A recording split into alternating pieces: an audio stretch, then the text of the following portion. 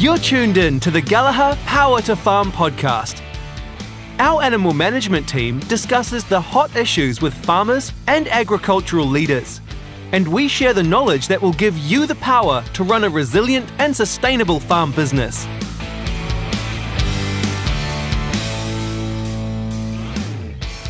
I'm Mark Harris, Global Marketing Manager for Gallagher Animal Management and part time dairy farmer. Today we're talking about regularly weighing your stock and using EID as a way to make more informed decisions to achieve your farming goals. Paeroa dairy farmers Tessa and Brendon Hopson have done just that. Over the last couple of years, they've moved from a pretty basic sort of a weighing system to a more fully automated one, a modern weighing system. And today they're joining us to talk about the results they've achieved and share their story.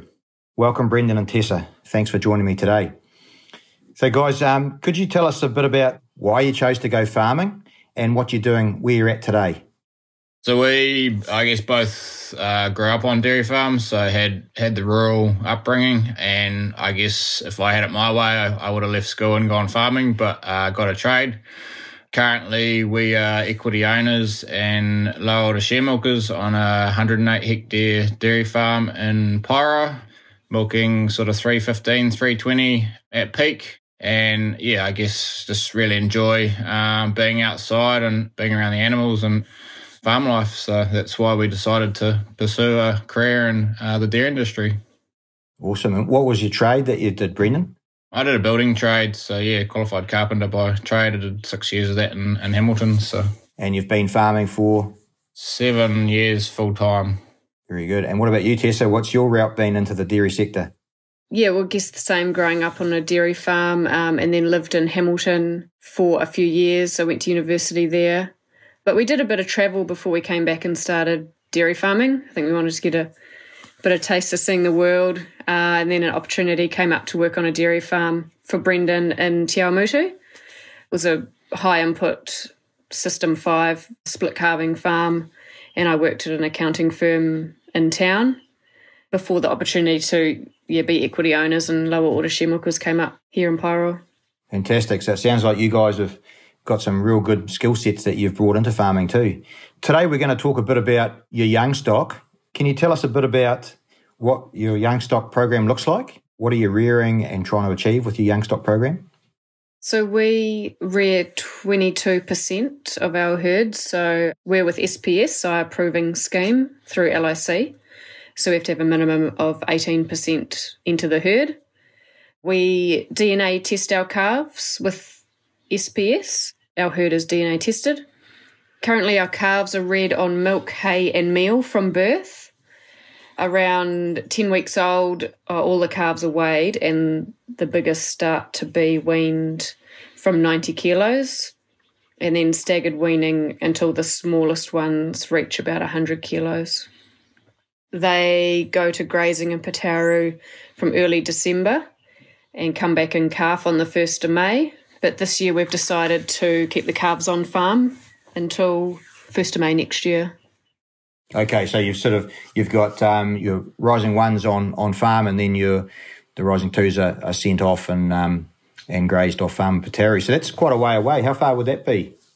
Uh, it's about an hour 15 to get down to Putaruru. So I guess that's a little bit of reasoning around keeping calves on farm, summers that we've been getting, um, just having a bit more control over monitoring ones that aren't doing as well as they should be. So done a little bit of research and we've put some chicory in for our calves this summer. So they're going to camp on chicory, grass silage and probably a bit of palm kernel um, when needed. I guess the big reasoning for this is just analysing the trends of the last four years since we've had the ability to weigh our stock. They start off really well, but that first summer is always, they sort of drop below uh, the line. So you're yeah, just trying to keep them above those growth rate lines, and we feel that we can probably do that by doing that ourselves.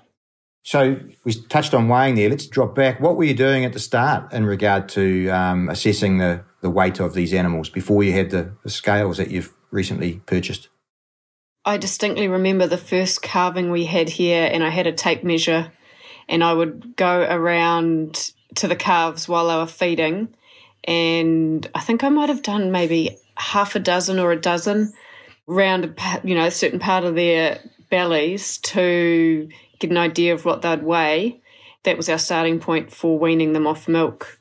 Yet no scales in that first season, and it was our second season. I think we thought surely there's got to be a better way, an accurate way, just something better than a bit of a guesstimation with a tape measure. And I guess that was sort of a little bit of a flow on effect because our stock weren't quite where they needed to be going forward. So then we sort of started to analyse whether it was us that hadn't done the right job. And, and without weighing, you can't really pinpoint where you're going wrong. So that was the big reason for looking at a better system, really. How did those problems appear? Were they not getting a calf or were they coming into the herd not quite where you wanted them to be? What was the problem? Yeah, their live weight targets weren't where they needed to be. So entering the herd below um, 90% live weight. So therefore on the backward foot from sort of day one. And I guess if you're chasing results, you need to know where things are going wrong before you can change. And um, I guess over the last three or four years, we've continued to change things We've changed grazier and they do a really good job of them. And obviously now targeting throwing more feed at the calves going through that first summer because that's sort of where we've noticed that the the drop is on the weighing graphs. So And I think that first summer when we hadn't weighed and they were up at grazing, they were local here then, they were just around the corner, which was quite handy. But every time we'd go and see them, we thought, oh, they probably could be better but we didn't know if that's because we hadn't grown them on the milk properly first and it's just a follow on effect, or was there an issue with the grazier, a grazier that we had no evidence to back ourselves on? It was just what we thought, how we'd hoped they would look compared to the reality of how they were looking. So, so you wanted an objective way of assessing where, where your animals were at basically, yeah. Yeah, and I guess without having that data, we were the only ones really visually seeing them other than the grazier. And obviously, being fairly new to running the whole operation ourselves, the big thing for us was, oh, yeah, they look all right. I think they're where they need to be. And every time I'd go up there, I was kind of like, oh, yeah. And then it wasn't sort of until we kind of realised they weren't really where they needed to be. And they could be better. And they weren't going to gain all this extra weight at the tail end, like everyone kept telling us. Yeah. Um, that we were kind of like, well, the only way we're going to be able to do this is obviously comparing it to growth weight targets, what our animal, our herd live weight is, and knowing where they need to be when they hit the ground first of May. So that was, yeah, the big reasoning around why we are chasing better gains. So did, did that make the conversation a bit easier with the grazier once you had objective data?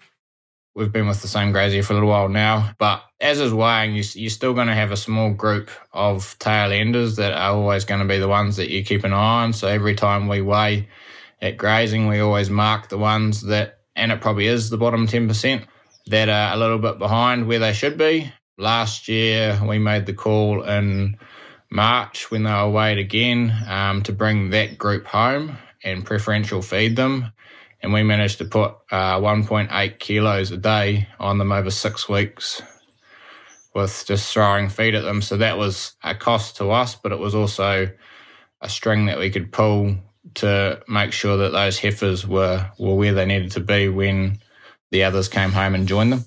So when it came to you know deciding on what weighing system you were going to get, how did you go about choosing a new system?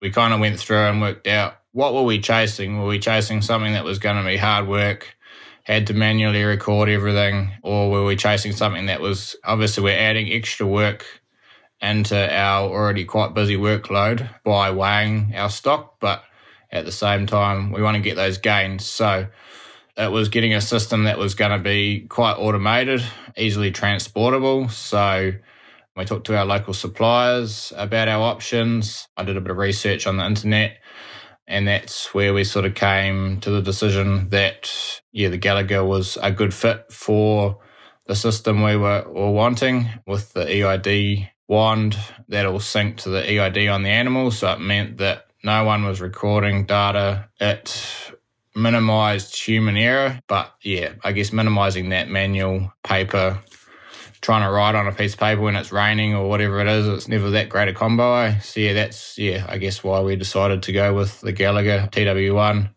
the weigh platform and we went for the slightly bigger platform because it fitted better in our vet race and because we did want to weigh our herd as well. So we weren't just chasing weighing calves only. So tell us about the herd weighing. What's what are you trying to achieve there? The year we got the scales, that was three years ago now, Brendon weighed the herd. So every milking for like a week or so, he drafted out a row of cows uh, and just run them over the scales. So that gave us our average herd weight of 450 kilos. And I guess the reasoning around that obviously goes back to um, needing to know what our heifers need to be entering the herd at. We can benchmark ourselves against production. So currently, our cows are doing 90% of their live weight in production. Before that, even though we were sort of estimating they were around that 445, 450, it wasn't until we weighed that we actually got that figure. And I guess the big pinpointing factor for us also was the range. So, off the top of my head, the range was about 350 to 650, which is huge when you're trying to get cows to all consume the same amount of feed and obviously be efficient at converting that feed and having the milk drop out the bottom. You know, some of those big girls that were 650 kilos, they definitely weren't pulling their weight, literally. so I guess until we had that data, we weren't able to benchmark ourselves to improve. And it's probably getting that more even line of stock is how we think the scales are helping as well. And that starts with the calves. If we can help those tail enders catch up and have that more condensed, even size of stock who are efficient at producing milk. with your, your targets that you're trying to achieve with your replacements, are you setting different targets depending on the breed composition of, of each animal? And what is your herd? It must have a bit of a different mix, 350 through 650. Yeah, so we've got a bit of everything in there. Uh, there's no favoritism towards uh, any breed. I guess for us now that we've sort of we've had a fairly low empty rate the last few years, which has given us good culling options. You know, we have culled cows because of size. We run a Kiwi cross herd here, putting a little bit of Friesian back in this year just to try and get a little bit more size for production gains as well.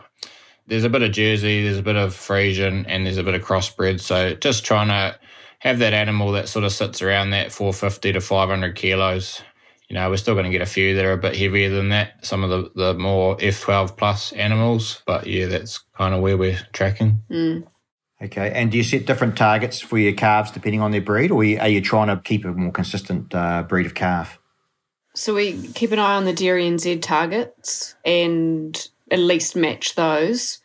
But you were showing me the other day with LIC how they can adjust targets based on our live, weight, weight targets. So there's always that breed, and that was probably something that we before we started weighing was not really an excuse, but sort of oh we've got a more crossbred herd. You're gonna get these big variances in size. That was the tricky one for us. Was was it genetics the reason why there was such a variance in our stock, or was it just the fact that we weren't growing them well enough. Obviously, us and the people we outsourced to.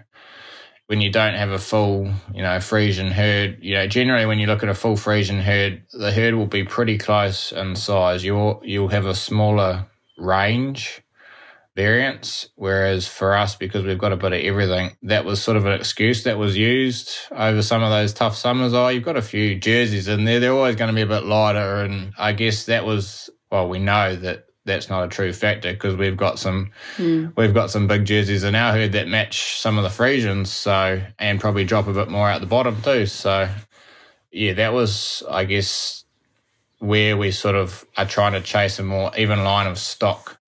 And that's why we've got a bit of both because we can kind of manipulate our breeding a little bit to try and keep that size where it should be or where we want it to be.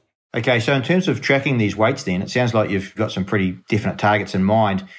How is that working with the runoff block? You're weighing at home yourselves. What are you doing with the animals that are down in Putaruru? So our grazier has load bars down there, And so we can just easily take our TW1 scale and EID reader and hook it up to his scales and run the stock over there. And like Brendon said, we will mark ones that aren't at the target weights that we need. Uh, and that's just for the grazier to keep an eye on them. And it gives us yeah, the opportunity, like we did back in March, to bring any home that we think need a bit more care. And so, you guys going down there and doing the weighing yourselves, or how does that work? We do all the generally do all the weighing and all the um, treatment, worm treatment and stuff. Um, so we're normally, unless the vets get called in, occasionally the grazier does it. But I like to get down there if I can at least every three months. So that's generally when we'll weigh. Um, we don't weigh every six weeks. I guess that probably comes back to a little bit of time because they are an hour and a half away. It's nearly a day trip for me to get down there weigh all the stock and get home. And, and sometimes that's not always possible depending on what's happening on farms. So I guess for us, it would be great to have our stock closer so that we could weigh more often because a lot can change in three months, let alone six weeks. So I guess if we can monitor changes, especially animals that go backwards through those mm-hmm. stress periods, yeah, that would be something that we would, yeah, obviously quite keen to pursue. The rising ones that are at home, uh, are you weighing them every three months as well, or what, what's the policy there? While the calves are on farm, as Tess mentioned, we weigh the first lot and then stagger wean after that. And then generally they will get weighed every six weeks um, when they come through the yards for treatment. So while they're on farm, we're weighing our young stock every six weeks until they generally go away at the start of December. But obviously, with us deciding to keep calves on farm this summer, we're going to have the option and the ability to continue to weigh them their whole way through till 1st of May next year. And I guess that's mm. where we're hoping we're going to get a lot better growth rates, a lot more consistent line of stock. And I guess we also have the option to pull animals out at home even though they're going to be getting pretty well fed, to maybe just try and catch uh, some of those tail enders up if there are some of those tail enders. So. Hey, very good. So, what would you say about um, the impact that weighing these stock regularly has had on your business? You know, if you think back to when you were using the tape, Tessa, to now where you're, you're getting these weights, what do you think it's meant for you guys as a farming business? Oh, I think it just gives you a bit more peace of mind that you've got the resources to make accurate decisions. Are your cows hitting the herd in better shape now since you've been doing this process? It means that we're getting a more consistent animal. I suppose over the last four years, we're milking about 35, 40 cows less at peak, but still doing similar productions. So we're getting small gains, but as, as is everything, it's not an overnight change. There's still other factors that contribute to that, but at the same time, we feel like we we are getting somewhere, and that the herd is really looking, you know, quite uniform, which is where we're sort of wanting it to be. Because I guess for me, I've got to look at them every single day as they walk through the shed. And if there's a, there's an animal that you don't like, you're going to see that one animal every day, um, whether it's yeah size or, or whatever uh, might jump out at you. But I guess for me, having that peace of mind that we've we've really put our best foot forward to grow our stock and and try and really perform. So this year's heifers are doing 82% of the herd's average production. So we really feel that our financial investment in our scales has positive returns on our milk production and animal health. That's fantastic because I, I, think the published figure is 75% in it. So that's, that's showing you're doing pretty well. Yeah, with those heifers. Well done. Hey, so just in closing, um, what would you say to other farmers thinking about investing in, in the type of gear that you've got? What we would say is do it. Um, I guess you can't monitor what you don't measure. It's taken us a few years to kind of fully understand where our stock need to be. And now we've got that weighing data we can make more informed decisions, as is the, the environmental changes and, and the things that are happening in the industry. These small gains that you're going to make might be the difference between you being a really profitable farmer and just the average farmer. And I'd probably um, get them asking themselves questions. You know, are they happy with how their stock are coming home from the grazier? Are they happy with how their heifers are calving down? Are they confident that they're allocating feed accurately based on live weight? All those little things add up to, well, big things at the end of the day, end of the season. We'd say being able to weigh your stock really just gives you data to use to make informed decisions and improvement in your business's performance, as we've seen with us. Oh, that's fantastic. Guys, thank you so much for talking to us today.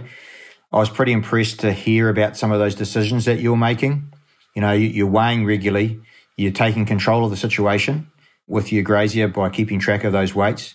I liked hearing the story about how you brought some animals home and you preferentially fed them. So you're really not leaving the outcome to chance you're making things happen and um, achieving that that milk production out of those first calvers. Obviously, that's really really good result. So pleasing to hear about it. Really pleased that the use and uh, success you're getting out of those uh, TW scales. Well done. Thanks for talking to us, and I wish you guys every success for your future career in dairying. Thank you. Great. Thanks, Mark. 10 4 rubber duck.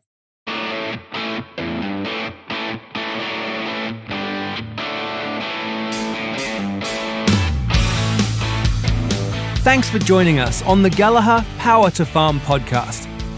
Learn more about today's topic and our panel guests by visiting www.am.gallagher.com